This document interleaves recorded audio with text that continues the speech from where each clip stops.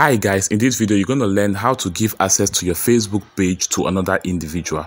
So you launch the Facebook app, then you need to confirm if this is your Facebook profile or your Facebook page. For this, this is my Facebook profile. So I will need to switch to my Facebook page. So you click on the menu button at the top right corner. Then you click on the drop down to switch your page. So you could switch to any of these Facebook pages or if the particular one you're looking for is not here, you could also use the search box. So I'm going to search for move up. So that is the page we're going to use for this video. All right, so I'm switching to move up. Okay. We can see that the switch has been completed. So we're going to go to the settings at the top right corner. So you click on the menu button at the top right corner. Then you scroll down to find settings and privacy or you click on the settings icon at the top but let's scroll down so you click on settings and privacy then click on settings again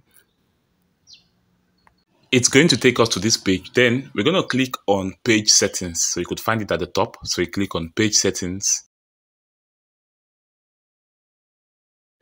Next, you move down till you find page access. So you could see page access over there. So under the new page experience, then you click on page access. All right. So this is where we could add a new individual to the Facebook um, page or a new person to the Facebook page.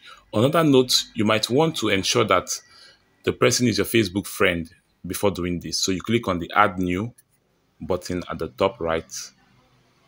Then you click on next. So you'd have to search for your friend's name. So it's easier if the person is your Facebook friend or the person follows your page. So I'm done inputting the name, but I still can't find my friend. So I'm going to close this keyboard all right, then here's my friend Pretty Chinda and Kim. Okay, so that's it.